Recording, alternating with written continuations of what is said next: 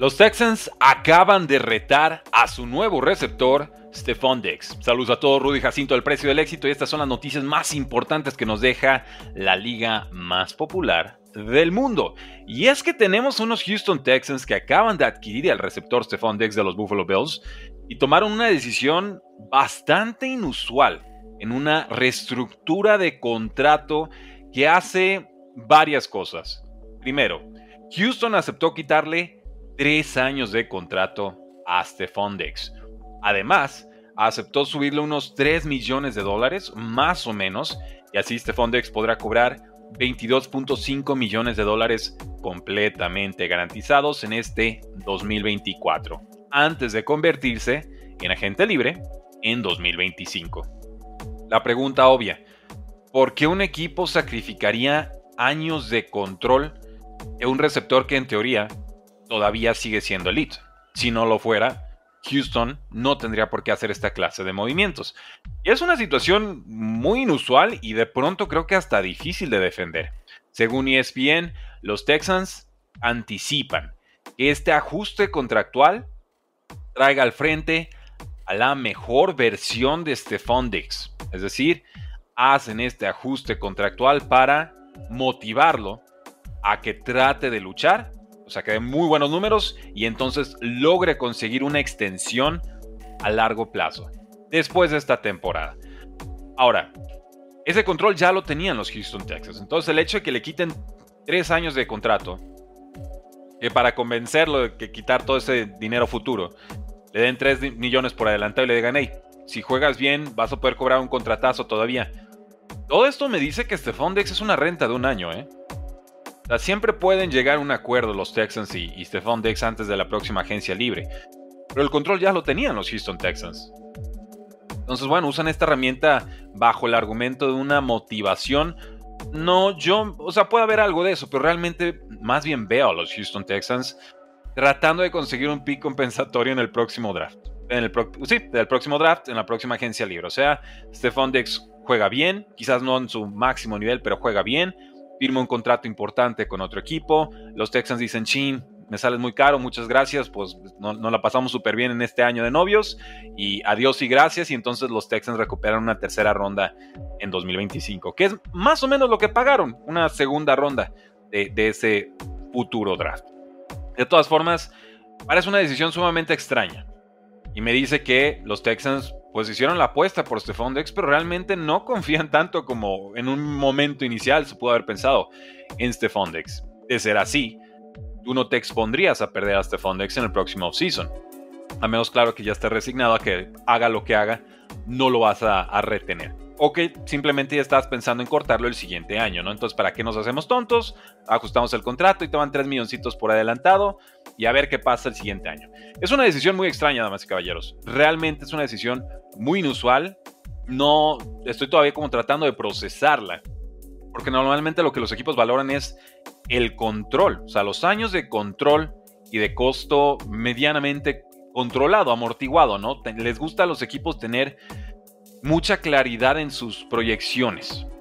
Y entonces el hecho de decir, no, el siguiente año te puedes decir Stefan Dex o ahí vemos qué hacemos con el contrato. si retienen a Stefan Dex el próximo año y juega bien, pues va a ser más caro de lo que era este contrato que ya habían heredado por parte de los Buffalo Bills. Entonces, una decisión sumamente extraña que traduzco yo en los Texans acaban de retar a Stephon Dex. Lo retan a tener un gran año, con un quarterback importante como el que tuvo también en los Buffalo Bills. Y yo creo que esto hace más probable la salida de Stephon Diggs de los Texans la siguiente campaña. Pero ¿qué opinan ustedes, damas y caballeros? Háganos saber en la casilla de comentarios.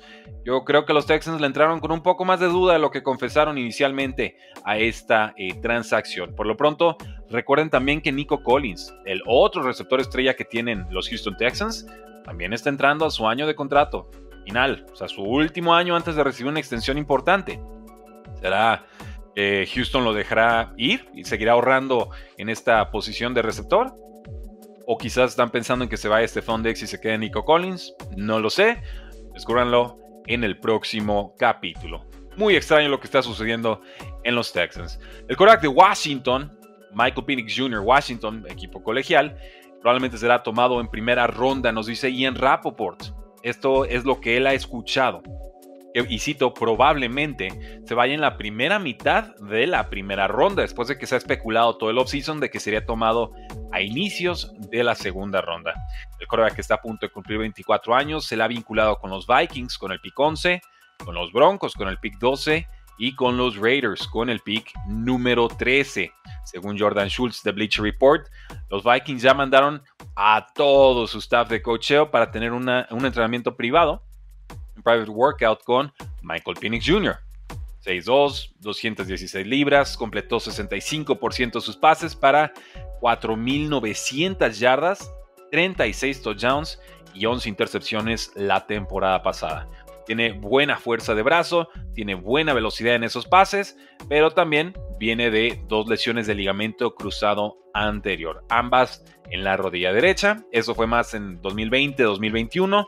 La temporada pasada sí pudo estar sano. Entonces, si cae Michael Penix Jr., será por cuestiones médicas, no por falta de talento.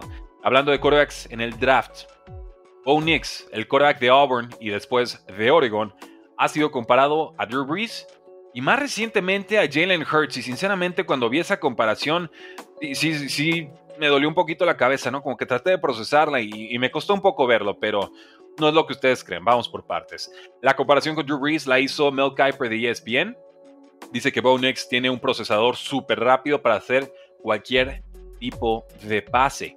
Kuiper cree que Bo Nix sería un fit perfecto con los Broncos de Denver, ya que, por supuesto, ahí está el ex head coach Drew Brees, Sean Payton, con los Santos de Nueva Orleans. En cuanto a la comparación con eh, Jalen Hurts, esa es de Daniel Jeremiah de NFL Network, y nos dice, y cito, tiene una combinación de competitividad, inteligencia y experiencia que le recuerda a Jalen Hurts saliendo de colegial. Entonces no nos está diciendo que Bonex es el superatleta que hace 600 libras de squat todos los días y que, está haciendo casi mancuernas mientras duerme. No, es un tema de competitividad, inteligencia y experiencia. Y ya por ese lado, bueno, me pareció algo forzada la comparación, sinceramente. Pero bueno, si a Daniel Jeremiah le recordó a Jalen Hurts, ¿quién soy yo para decirle que no? Unix viene de completar una temporada importante. 77% de sus pases completados para 4.500 yardas, 45 touchdowns y apenas tres intercepciones.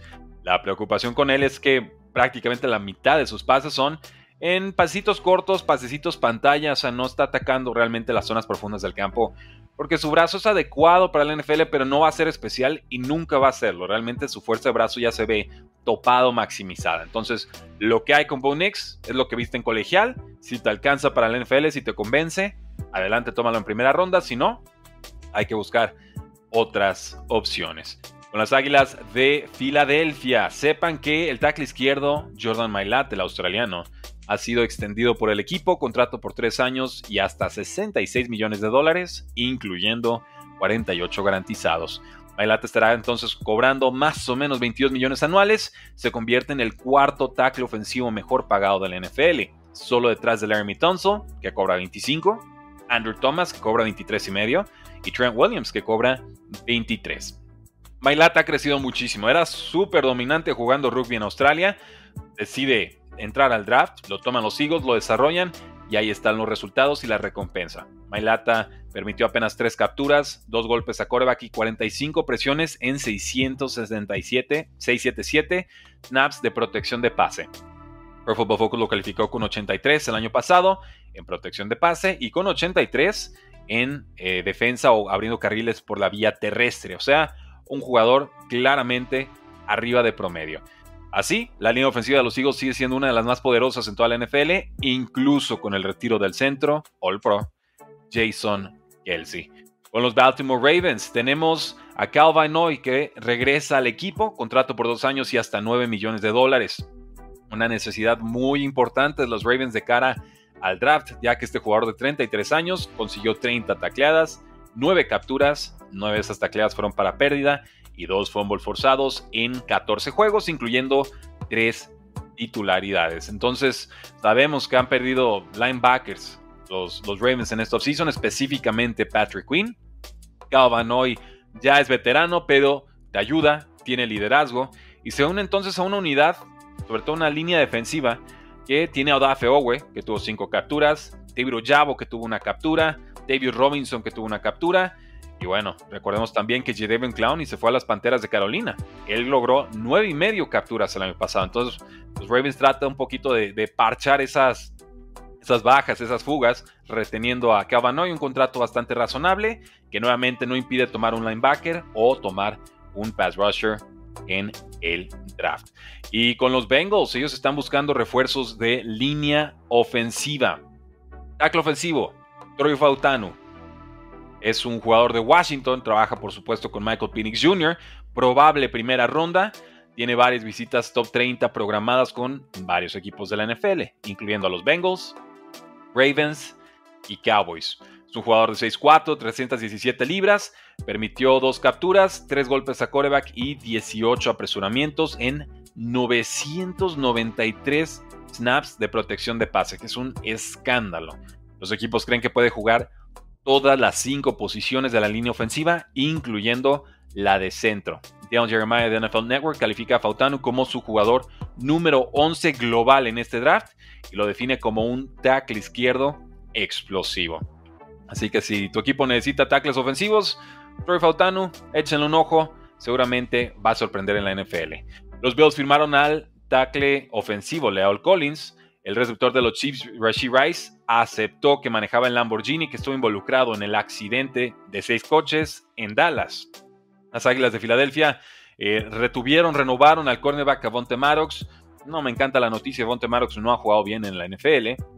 Y hace unos días hablamos del jugador de básquetbol de NC State, DJ Burns, y dijo que, bueno, su prioridad era jugar en la NBA, pero que estaba abierto a otras opciones.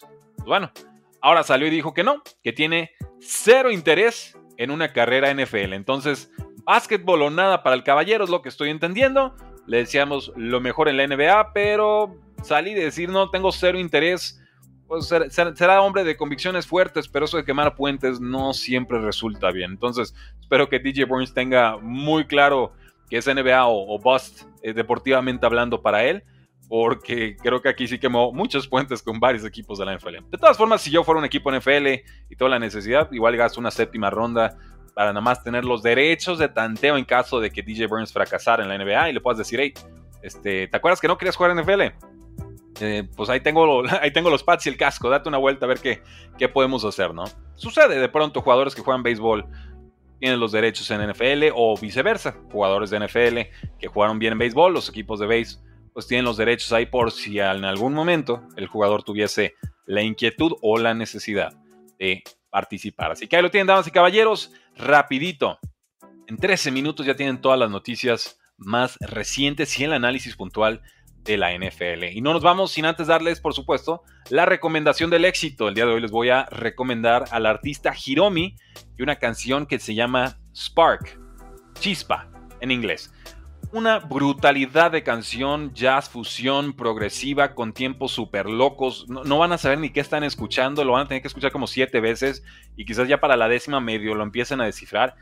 Un pedazo de artista es la batería, el piano, el bajo y sálvese quien pueda. Me acordé hoy de la canción, dije, sí, se las vamos a compartir porque cada que escucho Spark de Hiromi, no lo supero. Y quedo traumado y dije, bueno, vamos viendo cómo andan de conteo de tiempos los, los fans del éxito. Así que, damas y caballeros, gracias por habernos acompañado el día de hoy. Suscríbanse a este su podcast 3 si fuera NFL y déjenos una reseña de 5 estrellas para que podamos llegar a más horizontes, a más celulares, a más bocinas, porque la NFL no termina y nosotros tampoco.